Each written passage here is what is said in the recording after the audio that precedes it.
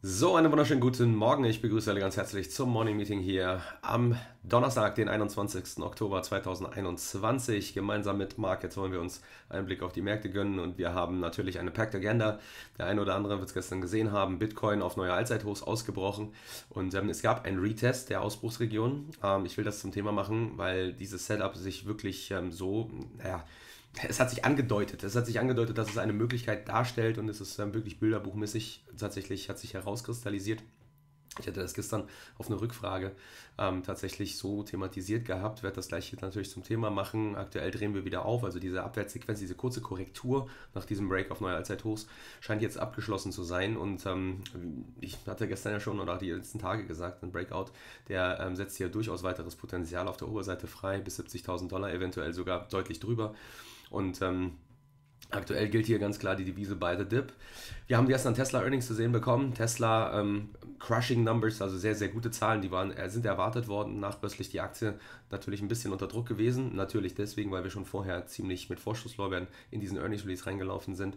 Und ähm, nun stellt sich halt so ein bisschen die Frage, wie tief kann eine Korrektur sich da bieten. In der Nachbörse sind wir bis 850 gedroppt von zwischenzeitlich 870, glaube ich, 875, sowas in dem Dreh. Also wirklich marginal. Wir haben also wirklich uns immer noch auf relativ hohen Niveaus haben wir uns halten können, was zeigt, wie ultra stark weiterhin Tesla eben auch ist. Und ähm, weswegen ich mir in Anführungsstrichen wünsche, dass wir nochmal einen kurzen Flash in Richtung 800 vielleicht auch leicht runter zu sehen bekommen. Ich könnte mir vorstellen, dass das dann auch nochmal ein sehr, sehr interessanter Bereich sein könnte, um sich dann mittelfristig long zu positionieren in Erwartung, dass es dort zu einem Push auf neue Allzeithochs kommt und ähm, dann vielleicht früher oder später auch der Bruch über die Tausender-Marke eben tatsächlich eingeleitet wird. Ähm, Gold, Silber ist zurück über die 24 gelaufen. Wir hatten Silber jetzt lange Zeit zum Thema gemacht, ähm, haben jetzt schlussendlich den Bruch auf den Weg gebracht und das trotz eines verhältnismäßig naja, durchwachsenen Umfelds eigentlich. Also Zinsen, 10-jährige US-Zinsen sind ja hier deutlich weiter auf dem Vormarsch. Dass sich Edelmetalle derart stark präsentieren, ist ähm, Zeichen auch von Stärke und äh, vielleicht suggeriert auch hier weiteres politisches Potenzial. Da werfen wir auch einen Blick drauf. Die 2350 in dem Zusammenhang sei schon mal genannt, die es gehalten hat werden können oder hat gehalten werden können.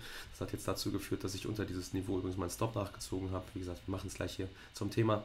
Ähm, wir haben auch neben Tesla noch andere Einzeltitel, die durchaus von Interesse sind. PayPal und Pinterest. Jetzt wird sich der eine oder andere denken, hm, okay, da zeichnet sich eventuell einer der größten äh, Merger ab, den wir in jüngerer Zeit zu sehen bekommen haben. 45 Milliarden hat äh, PayPal laut Gerüchten zufolge wohl geboten für Pinterest.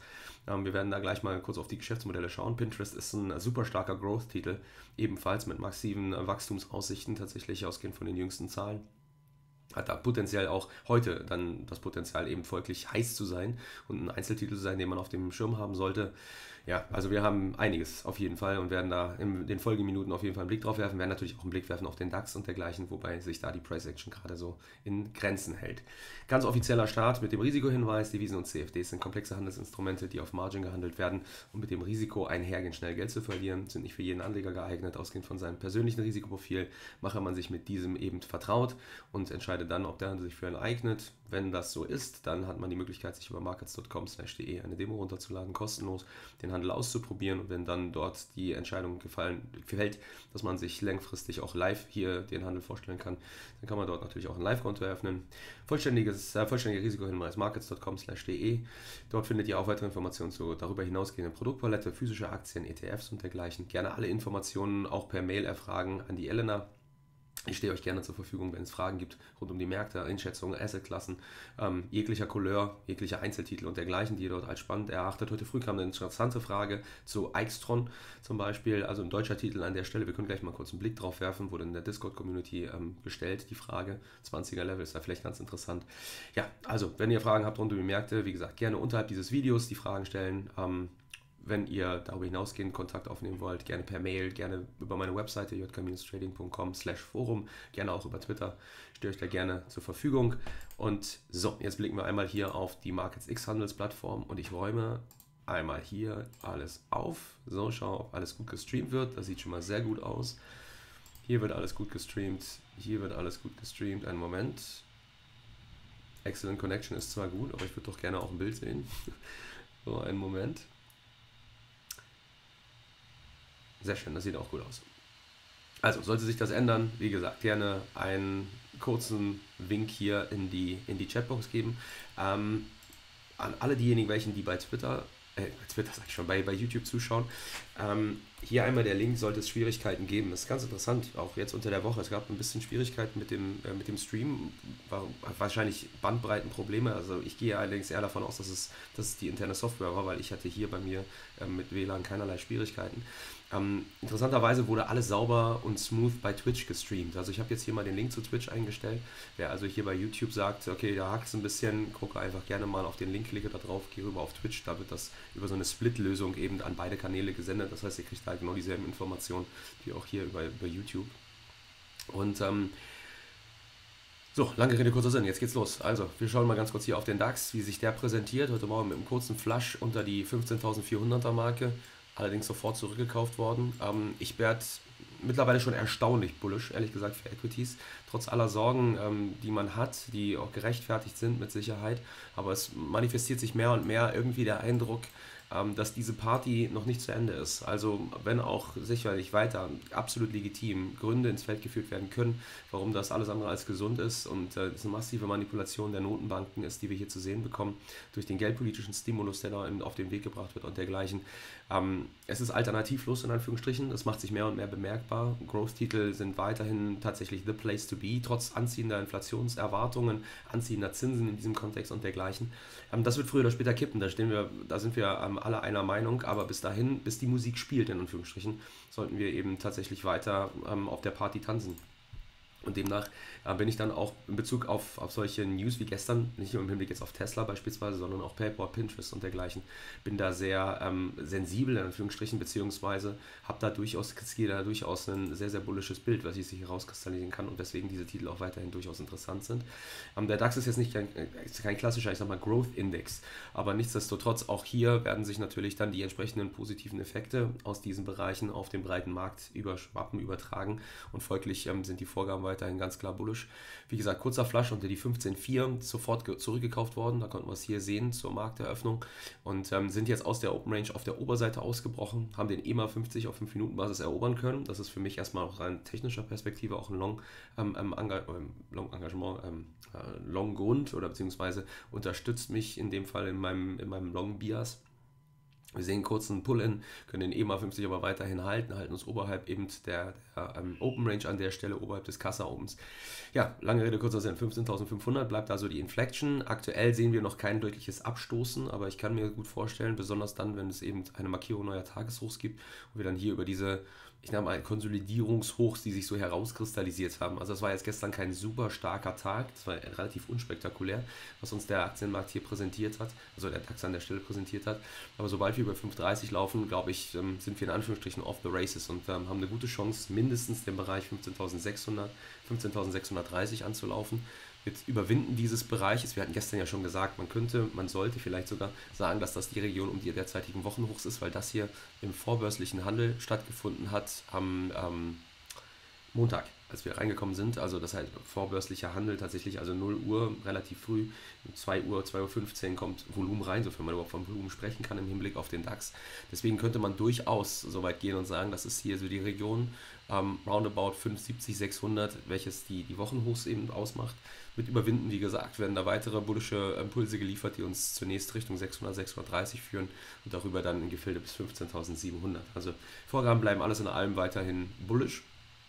Auch wenn der DAX jetzt nicht unbedingt ähm, mein, meine, meine First Choice, also meine erste Wahl wäre. Tatsächlich, ich glaube, da gibt es andere Indizes, ähm, die attraktiver, relativ stärker sind. Nehmen wir in dem Zusammenhang den SP, aber nehmen wir beispielsweise dann nochmal eine Etage drunter nehmen wir halt Einzeltitel. Da gibt es durchaus ähm, vielversprechendere und auch von der Struktur her sauberere äh, Märkte, die eben attraktiver sich anbieten. Im Hinblick auf den SP hier kann man sehen, Rückeroberung der, der 4400er Marke, die gelungen ist. Das ist schon letzte Woche am Donnerstag ja erfolgt.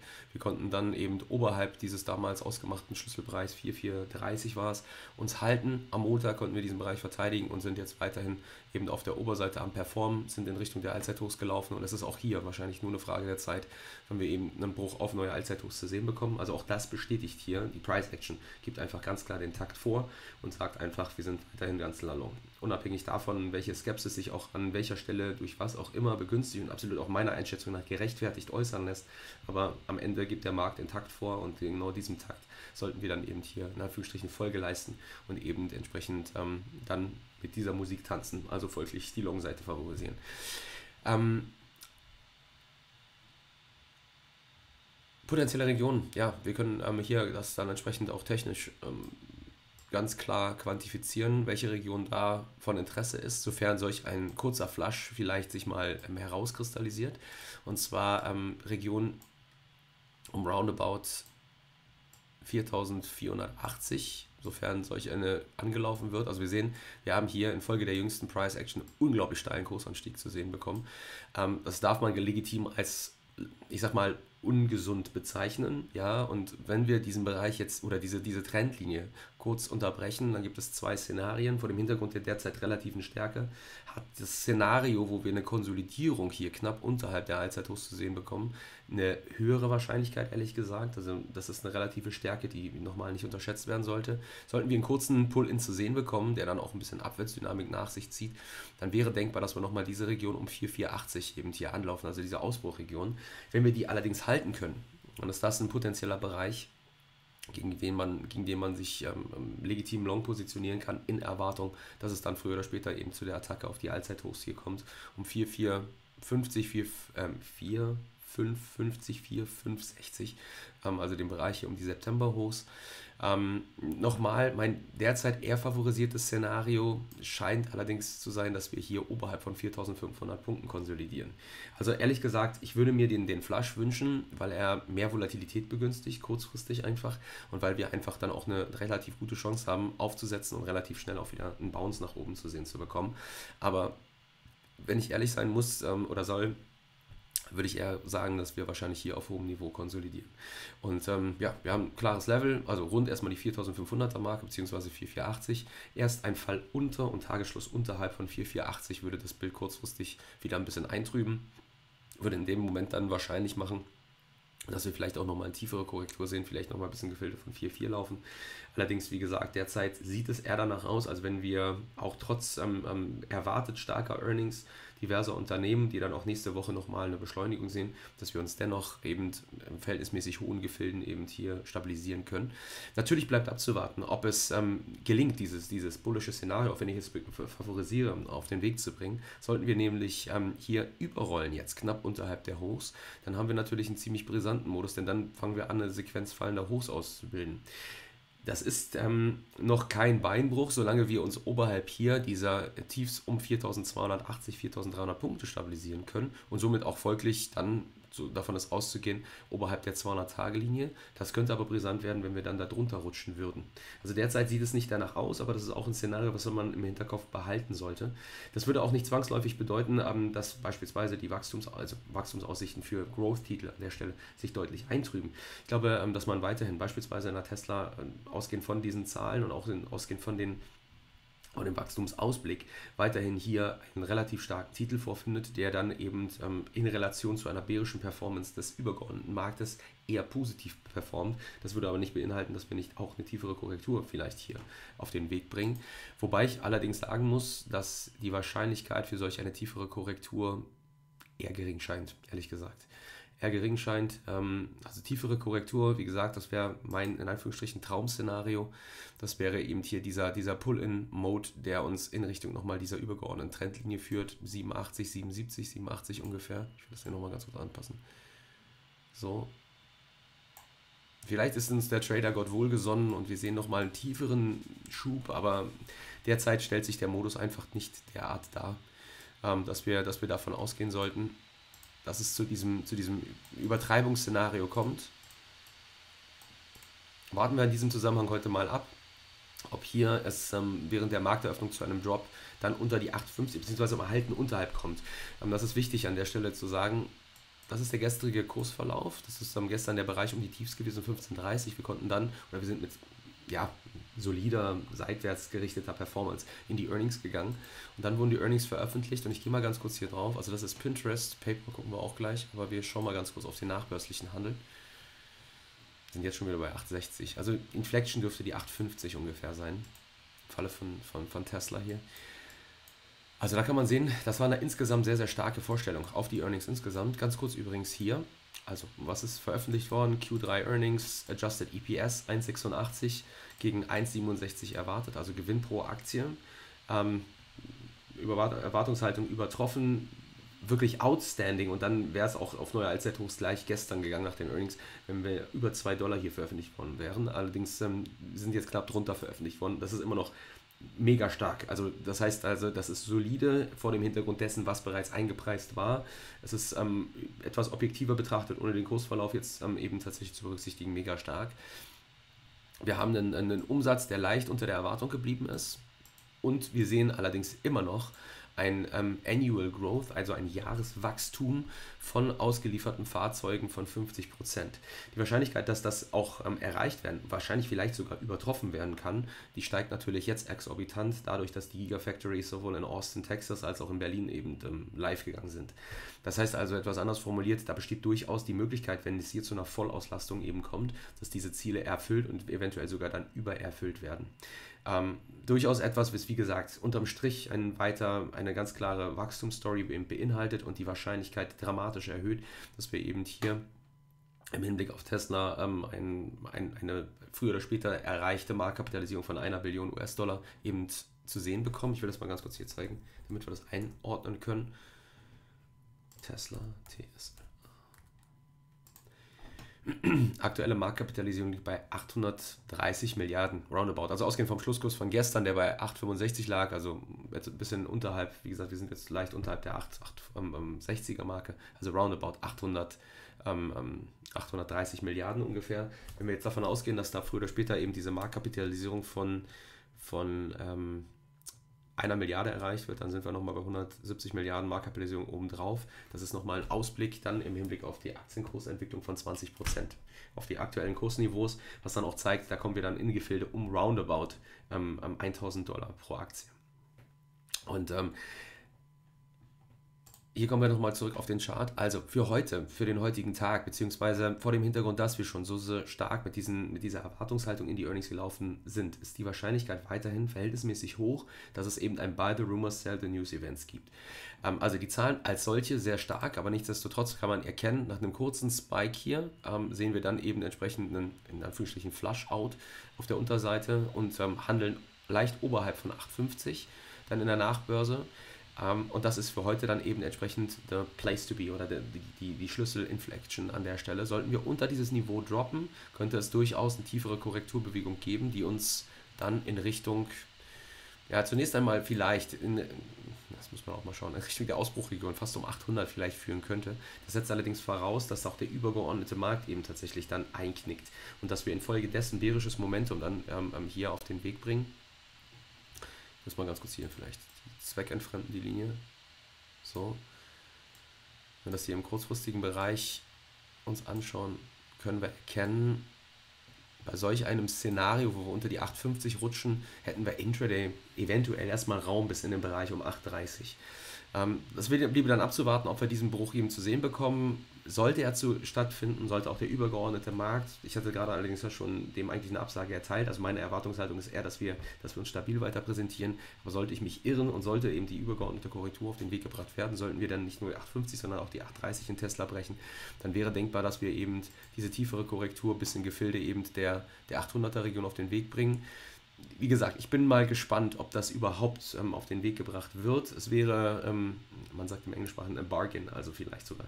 Es wäre fast schon ein Geschenk seitens des Marktes, wenn wir wirklich hier eine Übertreibung auf der Unterseite zu sehen bekommen würden. Die jüngste Performance lässt allerdings hier nicht wirklich diesen Schluss zu. Also die Wahrscheinlichkeit, dass wir im Bereich vielleicht um die 77, 87, sofern solch ein Drop überhaupt stattfindet, schon bereits wieder aufdrehen, ist verhältnismäßig hoch. Also das sollte man durchaus auf dem Schirm haben. Ich habe gestern, ähm, das war vielleicht ganz interessant, vielleicht gibt es da jemanden, der ein bisschen mehr weiß, vielleicht sind das auch über, ähm, übergeordnet ähm, ähm, ähm unfassbare Optimisten, also zumindest für die Bear-Side.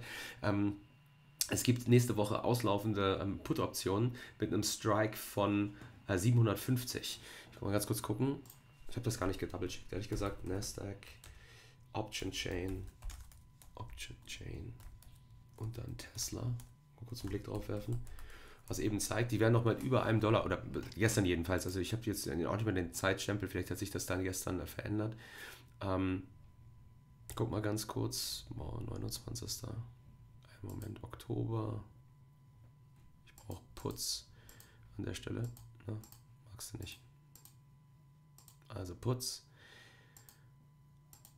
Das brauchen wir nicht. All Types Weekly, also ähm, ähm, wöchentlich auslaufend. Und dann möchte ich Out of the Money haben. Oktober. Da müssen wir mal gucken. 29. Oktober. Ist wahrscheinlich nächste Woche, ne? Also das heißt die übernächste. 22. Oktober, das ist morgen.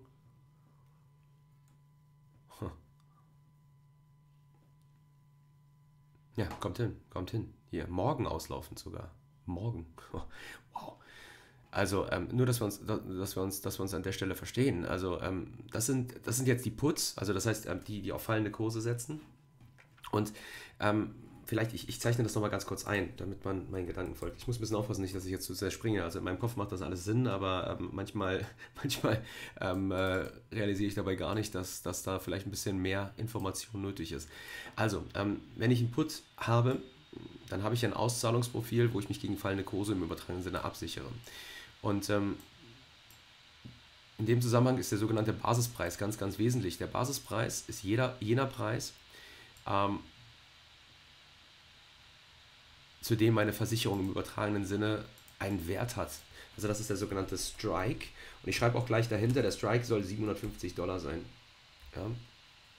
Das bedeutet, der Versicherungsfall für eine ähm, Position Tesla Long, wo ich jetzt einen Put ähm, gekauft habe, um mich gegen einen Kursverfall abzusichern oder eine Spekulation, auch rein spekulativ an der Stelle, dass ich davon ausgehe, dass wir zu einem bestimmten Zeitpunkt in der Zukunft ähm, unterhalb von einem bestimmten Kursniveau handeln und ich so dann das Recht habe, die ähm, ähm, Aktie zu einem vorher festgelegten Preis verkaufen zu können, der höher liegt.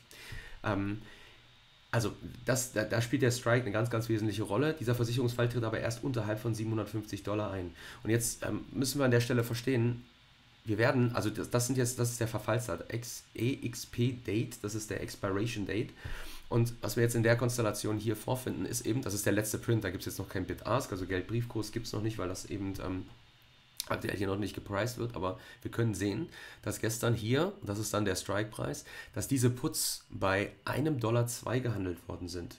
Das bezieht sich immer auf ähm, 100 Aktien, also 100 Tesla an der Stelle, ähm, ähm, Aktien. Das heißt also etwas anders formuliert, wenn ich hier 1 Dollar zwei habe, dann zahle ich für solch ein Put, für einen Kontrakt, bezahle ich 102 Dollar. Die verfallen morgen. Also das heißt, die haben noch einen Tag, um ins Ziel zu laufen. Andernfalls sind die 100 Dollar im Grunde genommen verschenkt. Ähm, also ich formuliere es mal etwas anders. Mal gucken, wo wir heute reinkommen. Also das ist jetzt gestern der letzte, ist der letzte Print gewesen, den wir jetzt hier haben. Ähm, ich vermute mal 22 Uhr. Da wird dann, wird dann hier für, für die, die ähm, ähm Privatanleger, die, die kostenlose Dienste hier von, von der Nasdaq Opt-in Chain dann in Anspruch nehmen. Ähm, der ist bei 102, äh, 102 gewesen, deswegen wissen wir nicht, ob da nicht eventuell heute ein deutlicher Pricing drunter stattfindet. Aber wenn du gestern zum Schlusskurs ähm, oder beziehungsweise knapp davor eben gesagt hast, ich verkaufe jetzt hier diese Putz, also das heißt, ich verkaufe dir gerne diese Versicherung, da gab es wirklich Marktteilnehmer, die haben dafür pro Kontrakt 100 Dollar bezahlt ähm, und diese Optionsprämie vereinnahmst du. Wir können das Ganze auch noch mal eine Woche weiterspielen, also für den 29. dann, beziehungsweise ja, nächste Woche Freitag. Wollen wir mal ganz kurz gucken.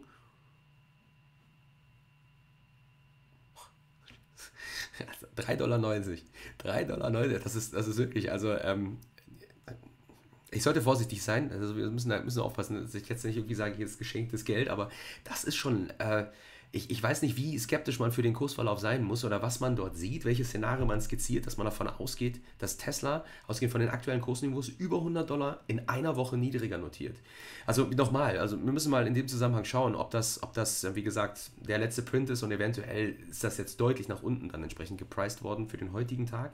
Aber das ist durchaus eine unglaublich interessante äh, Beobachtung, weil die einfach zeigt, wie viel Skepsis auch grundsätzlich, also das kann man auch übergeordnet eben spielen, wie viel Skepsis hier einfach in Bezug auf Tesla und den Kursverlauf Verlauf einfach im Markt offensichtlich eingepreist ist. Also das heißt, es gibt immer noch, vielleicht auch gerechtfertigt, weil der eine oder andere sagt, ähm, ich, ich glaube nicht an diese Growth Story und dergleichen. Da gibt es ja durchaus Möglichkeiten, dass ähm, ähm hier skeptisch zu beäugen. Das steht da vollkommen außer Frage. Aber nichtsdestotrotz ist das ähm, schon ein, ein äh, ja, das ist so ein bisschen so, so, so ein Reiter der Apokalypse-Move gefühlt irgendwie. Also ich käme nicht auf die Idee, hier einen Put zu kaufen auf Tesla. Vor dem Hintergrund, also natürlich gehe ich dabei davon aus, dass es ruhig bleibt, alles in allem. Aber das sind schon Niveaus, das ist ähm, extrem hoch gepreist, ehrlich gesagt. Mit, mit ähm, ähm ein, also 3,90 Dollar letzter Print gestern für einen 750er Put eben, der nächste Woche Freitag verfällt. Das ist, also das ist enorm. Und morgen noch nochmal, also morgen, das sind keine 24 Stunden mehr, beziehungsweise ein bisschen mehr vielleicht.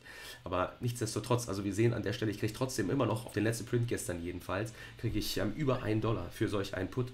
Und ähm, genau dieses, diese Skepsis ist es eventuell dann auch, die dann ähm, vielleicht dann auch genau diesen Schub auf der Oberseite nach sich zieht und diese Skepsis begünstigt, ähm, also Short Squeeze-Momente dann vielleicht nochmal begünstigt, die uns dann eventuell relativ zügig dynamisch über die Tausender-Marke eben tiefen, wobei natürlich Berücksichtigung finden sollte, da kommen wir nochmal ganz kurz hier zurück, in Bezug auf Tesla, dass der Shortflow mittlerweile natürlich sehr, sehr gering ist. Also nur noch bei 3,64 Prozent, also verschwindend gering einfach um ein Vielfaches höher. Da haben wir dann gesehen, dass das auch potenziell mit einer der Treiber war für diese Aufwärtsbewegung. Ähm, aber es ist erstaunlich. Also, lange Rede, kurzer Sinn, es ist wirklich erstaunlich, was da immer noch für gepreist wird oder was dafür bezahlt wird, ähm, hier an dieser Stelle, um eben solch einen Drop abzusichern. Also, ich, ich würde sagen, das wäre ein Bargain. Ich würde das jetzt nicht unbedingt handeln wollen an der Stelle. Also, das heißt, einen Put kaufen. Ich würde den eher verkaufen. Also, wer die Wette eingeht, die halte ich gerne. Ähm, und ich würde auch in den Bereichen dann, sofern diese Wette aufgeht, wäre ich gerne bereit, ähm, dann zu sagen, kannst du gerne haben zu dem Preis. Ähm, ich würde an der Stelle die, die Titel auf jeden Fall ähm, ähm, ähm, abnehmen. Also ich würde die zu diesem Kurs, würde ich die kaufen in Erwartung einfach, dass, dass, wir, dass wir auf der Oberseite eine entsprechend bullische Performance sehen. Also das ist nochmal lange Rede, kurzer Sinn in Bezug jetzt auf die Tesla-Earnings. Wie gesagt, Inflection sollte die 8,50, sollten wir uns unterhalb halten, ist 8,30 denkbar, vielleicht 8,15. Ähm, deutlicher Drop unter die 800 scheint mir sehr optimistisch als Bär, ehrlich gesagt. Ähm, wenn es dann diesen Flush gibt, sollte man 77, 87 im Schirm, auf dem Schirm haben. Das ist vielleicht längerfristig, mittelfristig eine interessante Region, wo man eben am Tesla nochmal aufladen könnte, in Erwartung dann auch einer Jahresendrallye bzw. eines Breaks über 1000 Dollar mit dann entsprechenden ähm, neuen Allzeithochs, die dann eben entsprechend uns, uns ins Haus stehen könnten. So, das also ganz kurz zu Tesla. Jetzt werfen wir einen Blick auf diese News gestern von Pinterest. Pinterest hat gestern hier einen relativ scharfen Schub auf der Oberseite gesehen. Ähm, schaut mal ganz kurz, ob eine Frage aufgekommen ist in der Zwischenzeit. Einen Moment. Okay. Ähm, also, habe das hier mal vorbereitet.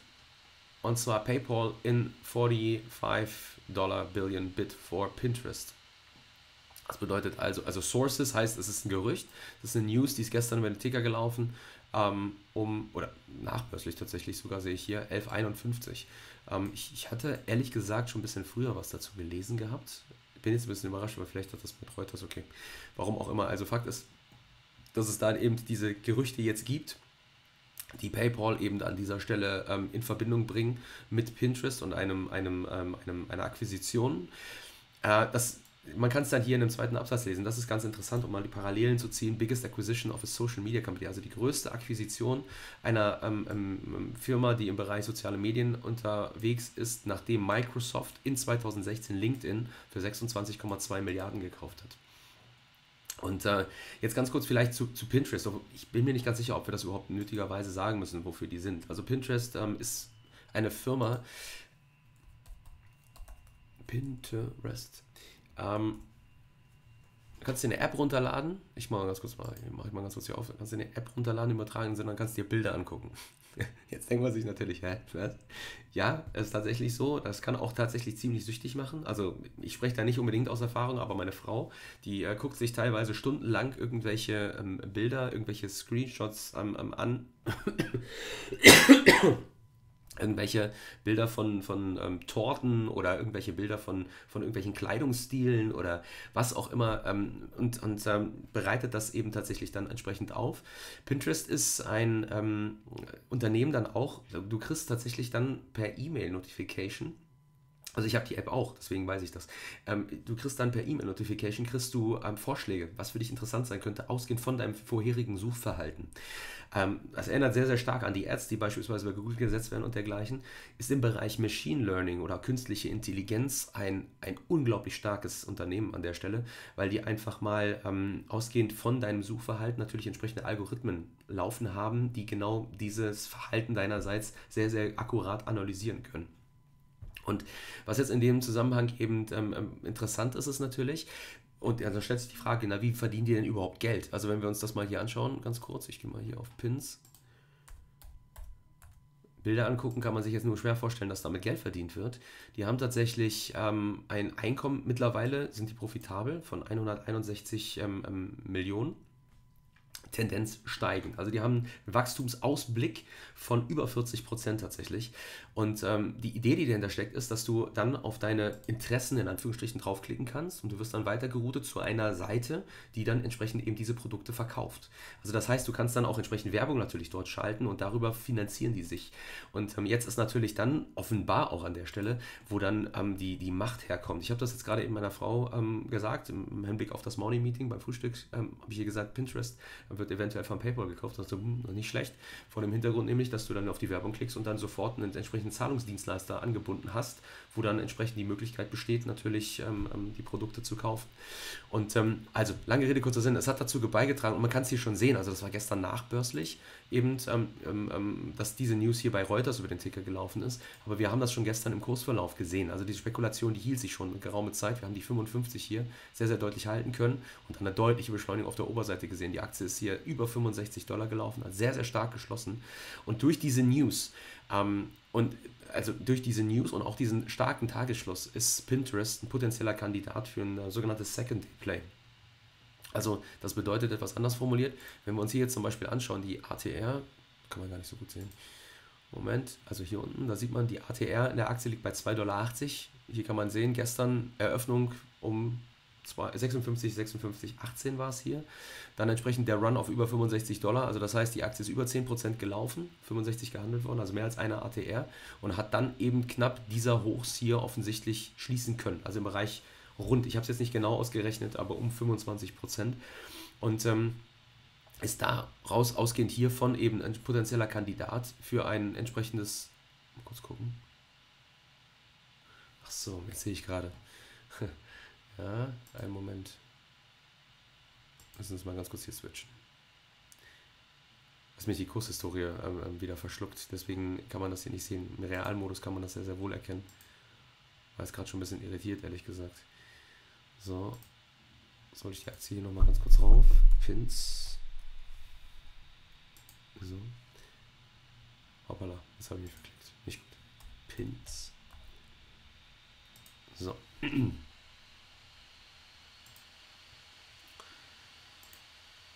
So, er sieht schon ein bisschen besser aus. Sehr viel besser. Also, ähm, hier kann man es erkennen. 20. gestern, wie gesagt, das war 17.30 Uhr, genau, gegen 5 ungefähr. Da kam eben diese, diese potenzielle News rein von 55 und dann haben wir entsprechend diesen Schub hier auf der Oberseite gesehen.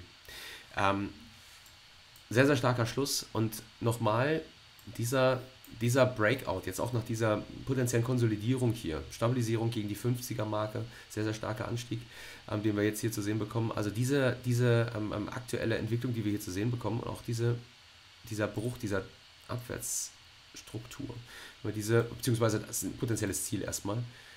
Hier, das ist so die Region, diese Trendlinie, die kann man durchaus erwarten, dass die angelaufen wird. Also wir sind potenziell nach oben noch nicht fertig. 68, 70 ist da durchaus noch im Rahmen ähm, ähm, erreichbar. Wenn man hier diese Hochs miteinander verbindet, das ist aus dem Juli und das ist ja, leicht später Juli ungefähr, kann man hier erkennen, dass sich da auch ein potenzieller Bruch dieser, dieser Abwärtssequenz eben tatsächlich abzeichnet. Also da ist durchaus noch Luft auf der Oberseite. Und ähm, wir können mal ganz kurz den Blick werfen, wie wir in der Vorbörse jetzt gerade stehen. Das ist natürlich sehr, sehr dünn, aber nichtsdestotrotz, oder die Öffnung ist na 62 ungefähr. Ähm, das ist jetzt dahingehend ganz interessant, weil wir jetzt natürlich hier eine Information bekommen, wo wir roundabout ähm, ähm, potenziellen Support erkennen können. Das ist so die Region 61 bis 61,50. Wenn wir die halten können, diesen Bereich halten können, ähm, dann ist das potenziell, also wenn da Käufer gegen dieses Level in den Markt kommen, dann ist das potenziell ein, ähm, ähm, ähm, ein Bereich, gegen den man sich attraktiv long positionieren kann. Mit der Erwartung, dass es eben nochmal einen Drive in Richtung der, der 63 bzw. darüber 64 und dann der 66er Region zunächst einmal gibt. Also das bedeutet etwas anders formuliert, Chance-Risiko-Verhältnis technisch ist diese Region hier um 61 in, in Pinterest durchaus von Interesse. Also gegen die ähm, ähm, scheint mir das durchaus legitim, sich long zu positionieren. Ich bin sehr gespannt, wie sich das auch vorbörslich das Volumen darstellt und dergleichen. Wenn wir mal hier kurz einen Blick drauf werfen, gestern ähm, haben wir, und das sieht man, das ist eine heiße News. Im Schnitt werden 11,39 Millionen gehandelt. Gestern sind über 110 Millionen Stücke gehandelt worden mehr als das Zehnfache des relativen, äh, des durchschnittlichen Volumens, also relatives Volumen ist, ist massiv nach oben geschnellt. Und ähm, also Fakt ist auf jeden Fall, diese, diese Acquisition aktuell zum Schlusskurs kann man es erkennen. Ja, ähm, wir haben hier 62 ist der Schlusskurs roundabout, 62, 88. Ähm, Kapitalisierung zu diesem Zeitpunkt zum Schlusskurs liegt bei etwas über 40 Milliarden. Ähm, natürlich wirst du, wirst du ähm, das nur als grobe Richtlinie natürlich sehen, dass das ähm, hier den Preis widerspiegelt. Aber nichtsdestotrotz, ähm, eventuell sind diese 45 Milliarden noch ausreichend, um weiteres Interesse eben in den Markt zu holen und dann eben entsprechend diesen Drive in Richtung der 70er Gefilde auf den Weg zu bringen. Könnte also Chance-Risiko-Verhältnis technisch ein sehr, sehr attraktiver Kandidat sein durch diese News eben, dass sich diese, diese Akquisition abzeichnet, sollte man meiner Einschätzung nach auf dem Schirm haben und die 61er-Region durchaus ähm, ähm, mal näher beleuchten, näher betrachten. Ja, das also zu, zu Pinterest. Ähm, ich will ganz kurz hier, jetzt natürlich nicht ganz kurz, sondern jetzt final endlich auf äh, Bitcoin zu sprechen kommen. Guck mal ganz kurz, aber Fragen sind bis dato noch keine aufgekommen. Ich habe heute früh mal ähm, hier zwecks Illustration habe ich einen, einen, kleinen Long Trade in Bitcoin auf den Weg gebracht, um einfach eine Idee zu geben, wie man sowas handeln könnte. Ähm, oder beziehungsweise warum man das in dem Zusammenhang eben hier handeln könnte. So. Also gestern final. Ich weiß gar nicht, ob man das hier so. Ich nehme mal ganz kurz die Linie raus, können wir gleich wieder reinzeichnen. Also gestern final eben entsprechend der Bruch auf neue Allzeithochs.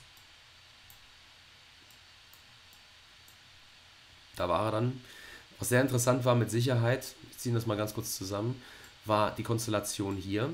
Ähm, diese, diese enge Konsolidierung knapp unterhalb der Allzeithochs. Also man, ich weiß gar nicht, ob das jetzt so auffällt, aber hier ist die Region um die vorherigen Allzeithochs aus dem April.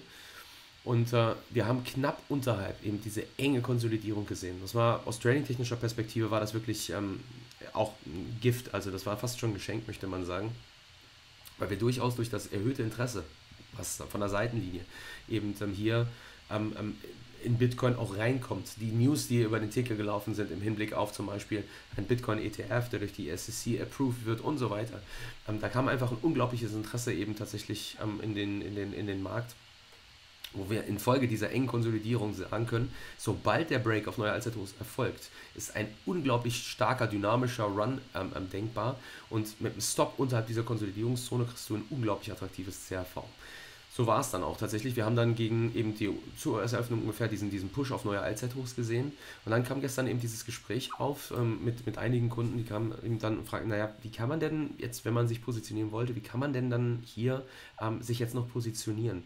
Und ich sagte dann in der Konstellation, ich würde jetzt einen Retest, sofern wir ihn überhaupt zu sehen bekommen, aber wir haben ihn zu sehen bekommen, ich würde diesen Retest abwarten wollen das ist ungefähr die 64.000er Region, Pi mal Daumen. Und wir sehen hier gestern, also heute Nacht war es dann, haben wir diesen kurzen Stint in diesem Bereich zu sehen bekommen und heute früh nochmal zur europäischen Markteröffnung ein Retest dieser Tiefs, die gehalten hat werden können. Und das ist deswegen brisant, weil es eben die Region um 64.000 ist, das heißt also knapp auch im Bereich um diese Konsolidierungshoch und um die ehemaligen Allzeithochs.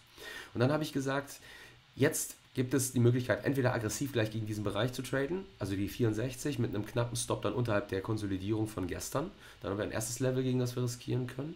Alternativ besteht hier die Möglichkeit, dass wir den Break über diese dann sich herauskristallisierte Abwärtsstruktur zu sehen bekommen. Und dann würde ich das als Bodenbildungssignal sehen. Das wäre ein bisschen konservativer, aber ich würde dann in dieser Konstellation einfach sagen, ich würde hier im Bereich dann je nachdem, wo dieser Breakout über diese Trendlinie erfolgt, einen Long auf den Weg bringen mit einem Stop unterhalb dann der sich ausgebildeten Tiefs.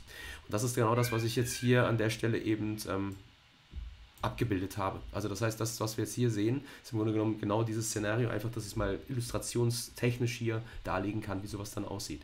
Das heißt also, wir sehen den Bruch, wir positionieren uns hier in diesem Bereich Long, Stop unterhalb der Tiefs Und jetzt sind wir einfach off the races. Also das Ziel des Trades, man kann es dann hier sehen, ich habe den Take Profit da oben hingelegt, der liegt tatsächlich auf ähm, über 70.000. 72.000 habe ich ihn, glaube ich, hingelegt. Das wäre so ein erstes Ziel.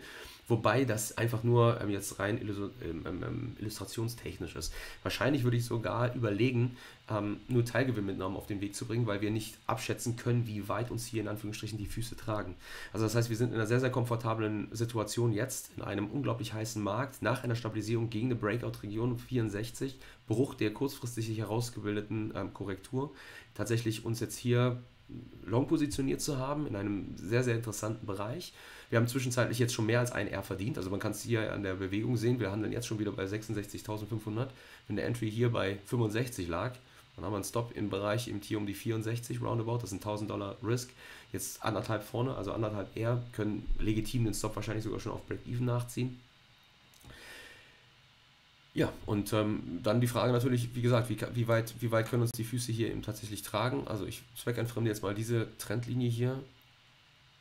Erstmal ist es so, die Aufwärtssequenz ist weiterhin gegeben, solange eben tatsächlich diese, diese Trendlinie hier, ich will das mal ganz kurz vielleicht farblich anders abstimmen, kann man das ein bisschen besser unterscheiden. Also diese orangefarbene Trendlinie, solange die gehalten wird, ähm, gibt es keinen Grund davon auszugehen, dass sich dieser kurzfristig klar auszumachende bullische Modus in irgendeiner Form ähm, auflöst.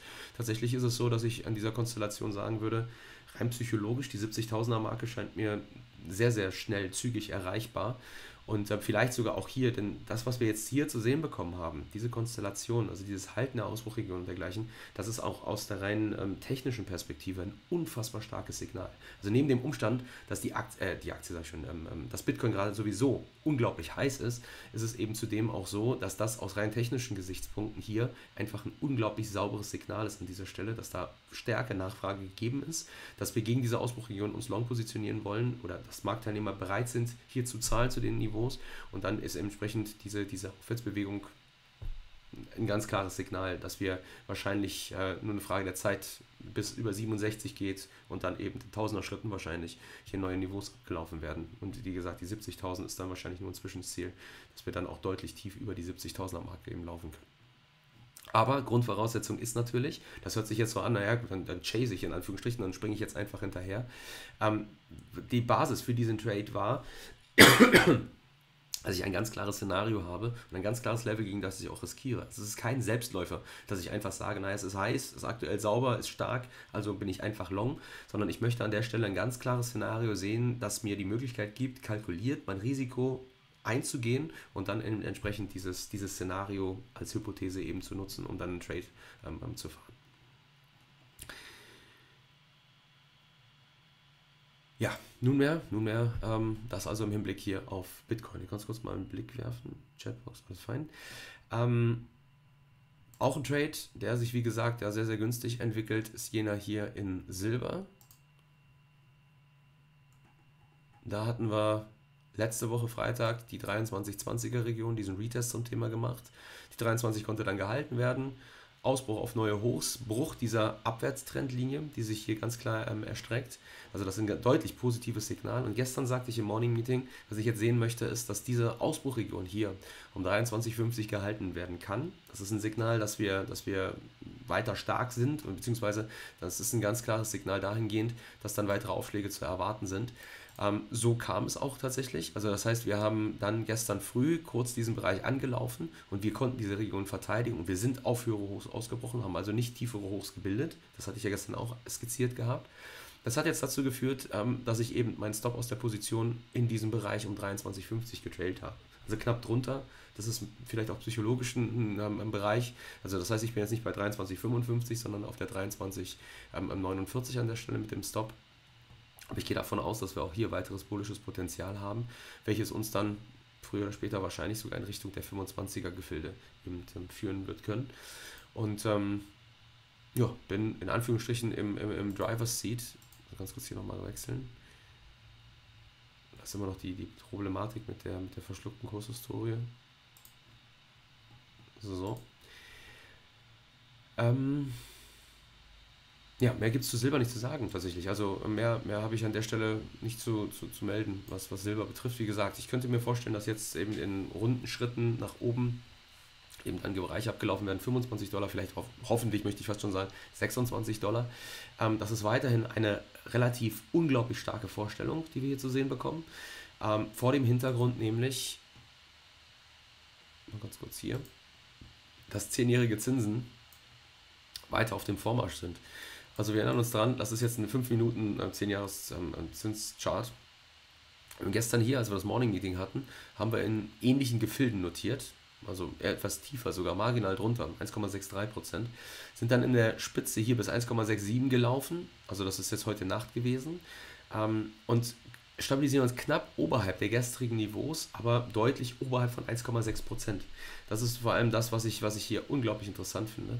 Ähm, und diese anziehenden Zinsen, sind eigentlich ein Grund dafür, für Edelmetalle, besonders Gold oder auch beispielsweise Silber skeptisch zu sein, dass sich Gold und Silber derart stark präsentieren können, zeigt, dass parallel dazu offensichtlich die Inflationserwartung der Marktteilnehmer beginnen auch deutlicher anzusteigen. Real Yield Fed.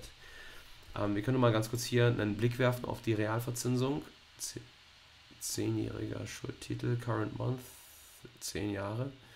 Da kann man das erkennen es ist nicht dramatisch, aber es ist dennoch erkennbar. Also wenn wir uns überlegen, am 1.10. zum Beispiel, um jetzt mal eine Einordnung zu haben, dann lagen wir hier bei einer Realverzinsung bei minus 0,9 Prozent. Um das eins, also um es zu verstehen, das bedeutet, ich ziehe hier ähm, von den zehnjährigen Zinsen und dem zehnjährigen Zins entziehe ich eben die Inflationserwartung ab. Und wenn der zehnjährige Zins bei eben in dem Fall minus 1, äh, Entschuldigung, minus sage ich schon, 10 Zins bei, sagen wir mal, 1,5 liegt, dann bedeutet minus 0,9, dass die Inflationserwartung bei 2,4% liegt. Und das infolgedessen 1,5 minus 2,4 minus 0,9 eben ergibt. Und ähm, jetzt gehen wir nochmal kurz auf die 10-jährigen Zinsen. Wo haben wir zinstechnisch am ersten notiert?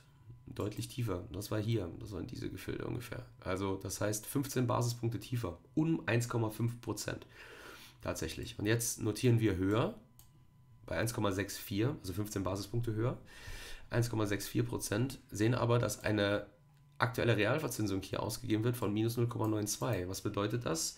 Nun, wenn der Zins 15 Basispunkte steigt, allerdings hier sich in diesem Zusammenhang diese Niveaus bestätigen, also von Anfang des Monats, wo wir allerdings 15 Basispunkte niedriger notiert haben, impliziert, dass die Inflationserwartung der Marktteilnehmer gestiegen sein muss, um das Verhältnis hier konstant zu halten. Und genau das ist eben etwas, was dann unterm Strich dafür spricht, dass Edelmetalle auch ähm, potenziell weiter bullisches Performance eben ähm, weiter bullische Performance erwarten lassen dürfen und dass eben hier die Vorgaben weiter ganz klar long bleiben eben. Wie gesagt, dass dann früher oder später vielleicht mal ein kurzer Rollover stattfindet in zehnjährigen Zinsen, der dann aber stark beschleunigend auf der Oberseite eben beispielsweise für Gold oder eben Silber dann an der Stelle ähm, ähm wirkt. Hier noch ganz kurz der Blick einmal auf, auf Gold. Die charttechnische Konstellation ist hier nicht ganz so interessant, aber nichtsdestotrotz, wir laufen ähm, hier erneut jetzt in einen brisanten Bereich. Diese Trendlinie, die man, die man hier miteinander verbinden kann, das sind die Mai-Hochs, Mai-Juni-Hochs, beziehungsweise hier die September-Hochs. Wir sind gegen die 1800er Region ja nochmal sehr deutlich übergerollt, haben einen relativ scharfen Flash gesehen. So, das ist noch gar nicht so lange her. Moment übrigens. So. Da können wir es erkennen, 19. Oktober, beziehungsweise, nee, gar nicht mal, noch ein Stück weit zurück. Hier, das war am 15. Oktober dieser relativ scharfe ähm, ähm, ähm, Flush, den wir hier zu sehen bekommen haben, nach dem starken Anstieg, Post eben, mal gucken, Post, stimmt gar nicht.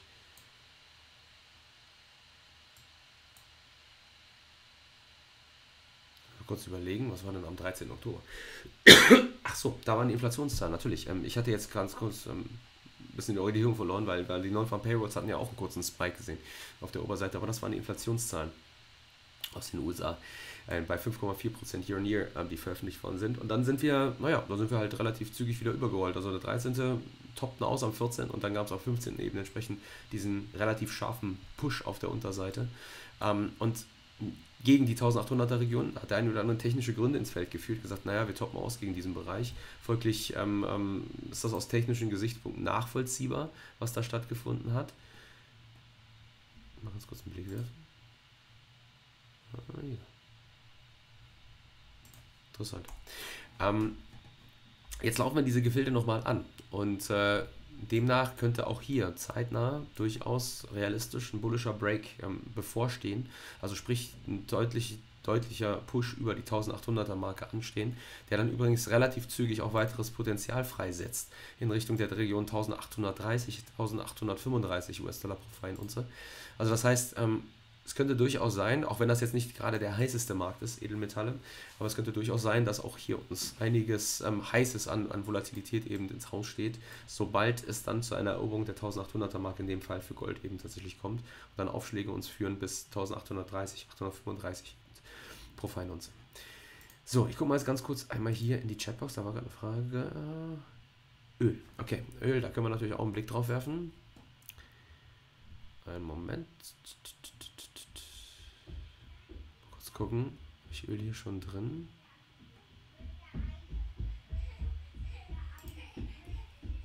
ETI und dann Continuous Contract. Also das ist jetzt der, der, der WTI-Kontrakt.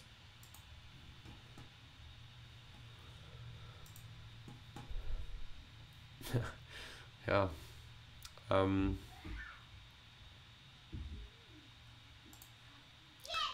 Müssen wir mal ganz kurz hier gucken. Einmal. Äh, komm, nee, kann man nicht.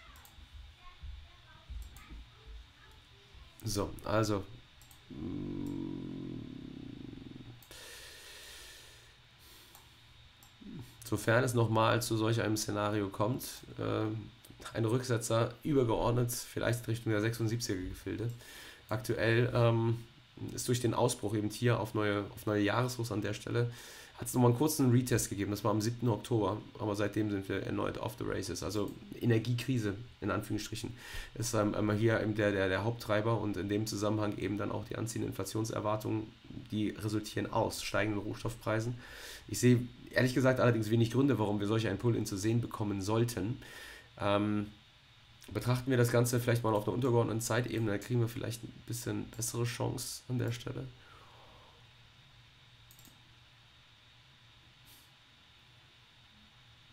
Eventuell die 81, 81, 70er Region. 82, 81, 70er Region hier. Und dann haben wir auch ein Level gegen aufs Riskieren. Da würde ich einen Stop haben hier unterhalb der 80, 50 ungefähr. Also das heißt 1,20 Dollar Risiko pro Barrel, das sind dann so bei, bei 81, 70, sofern wir diesen Bereich anlaufen. Könnte ich mir vorstellen, dass das Long aus diesen Gefilden ganz interessant ist. Wie gesagt, Stop 80, 50, diese Region hier. Ähm, und Ziel, ja, Oberaufwärtstrendkanalbegrenzung, also 86, vielleicht sogar 87 Dollar, die wir dann anlaufen. Das sind aus diesen Gefilden dann 5,50 Dollar Chance bei 1 Dollar, 1,20 Dollar Risiko. CRV größer 4 zu 1. Also das wäre das wär so ein Szenario, damit könnte ich mich noch anfreuen auf der, auf der Stundenebene. Wie gesagt, im Daily sehr schwer. Also zu sehen, dass wir nochmal unter 80 droppen. Ähm, eher bekommen wir wahrscheinlich gegen die 81,50er Region, 81,70er Region schon wieder verstärkt Nachfrage und würden in dem Zusammenhang diese, diese Trendstruktur dann eben halten. Also das heißt, beziehungsweise diese Aufwärtstrendlinie dann halten können. Ja. Ähm, soweit. Soweit wäre es das eigentlich dann auch größtenteils gewesen. Wir können noch mal ganz kurz einen Blick werfen vielleicht auf Devisen. So spektakulär stellt sich das Bild jetzt da nicht dar. Aber ähm, nichtsdestotrotz rein technisch sicherlich interessant. Aufwärtssequenz haben wir. Derzeit noch weiter intakt, aber ähm, der Euro, dem geht schon wieder die Luft aus, in Anführungsstrichen. Gegen die 1670er Regelung kann man hier sehen, ganz klar auszumachen, potenzielles Doppeltop, was wir, was wir zu sehen bekommen. Beziehungsweise es wird zu einem Doppeltop just in jenem Moment, wo wir unter 1620 rutschen würden. So muss man das besser formulieren. Was dann auch korrespondieren würde mit einem Bruch dieser Trendlinie ähm, und dann folglich den Weg freimachen dürfte, erneut für einen deutlichen Push unter das 1 ähm, am, am 16er Level. Ist nicht wirklich attraktiv derzeit, was der Devisenmarkt uns bereithält. Ähm, erstaunlicherweise kann, kann, äh, kann der US-Dollar nicht von diesen anziehenden Zinsen profitieren. Das ist ähm, ziemlich interessant, ehrlich gesagt. Unterstreicht, ehrlich gesprochen, ähm, die These, auch wenn sie jetzt im kurzfristigen Bereich vielleicht ein bisschen wagemutig anmutet, aber dass, man, dass man eben sagt, das ist ein ganz klar auszumachende anziehende Inflationserwartung und so ein potenzieller Kaufkraftverlust des US-Dollars, der den US-Dollar auf breiter Front unattraktiver werden lässt, trotz anziehender Zinsen. Ähm, ich will es nicht überbewerten, aber es ist durchaus etwas, was man im Hinterkopf behalten sollte. Ähm, sollten wir, also das bedeutet dann etwas anders formuliert, selbst wenn es zu diesem Break käme an dieser Stelle, der US-Dollar jetzt hier so ein bisschen Catch-up spielt, heißt das nicht, dass sich das zwangsläufig negativ auf beispielsweise Edelmetalle auswirken würde. Das ist vielleicht auch dann in dem Zusammenhang weiter ähm, ähm gesagt, eben weil der US-Dollar mehr und mehr als relativ schwach oder skeptisch vielleicht beäugt wird seitens der ähm, ähm, Marktteilnehmer an der Stelle. So würde ich das jetzt grob interpretieren, was wir dort zu sehen bekommen. Wie gesagt, also Schlüsselregion hier im Euro-US-Dollar Region um roundabout 1620, 1630 ungefähr. Wenn wir die brechen und, und dann auf Tagesschlusskursbasis eben auch unterhalb uns halten können, ist ein deutlicher Lauf zurück unter das 1,16er Level durchaus einzukalkulieren. Sehr, sehr wahrscheinlich eben tatsächlich. Ja, ja das wäre es das wär's soweit, das wär's soweit gewesen. Ähm, dann hoffe ich an dieser Stelle, dann hoffe ich, dass ihr was für Trading mitnehmen könnt. Und ähm, wie gesagt, Tesla wird durchaus interessant. 850 ist das Schlüssellevel. Hab Pinterest auf dem Schirm. Auch das könnte nach dieser Geschichte mit PayPal durchaus interessant werden im Einzeltitelbereich. Bitcoin ähm, bleibt mega heiß und wie gesagt, erwartet ähm, da nicht zeitnah einen Top. Da braucht es sehr, sehr viel mehr als ähm, ein, ein, ein, kurzfristiges Abnehmen eben des, des Momentums auf der Oberseite. Ähm, was wir derzeit noch nicht mal ausmachen können. Gegen die Ausbruchregion jetzt nochmal deutlich aufgedreht. Technisch ein sehr, sehr stark bullisches Signal. Erhöht die Wahrscheinlichkeit eines Laufs in den Wochenschluss hinein, eventuell sogar in Richtung des nächsten psychologischen ähm, relevanten Bereichs um 70.000 Dollar und höher. Und ähm, ja, soweit meinerseits. Also, hat euch das Video gefallen? Lasst gerne ein Like hier, abonniert gerne den Kanal. Ich wünsche euch Happy Trading, passt auf eure Stops auf. Wir sehen uns morgen wieder zum Morning Meeting, 10.30 Uhr, wie gewohnt. Ich freue mich drauf. Habt euch wohl, macht's gut, bis dann und tschüss.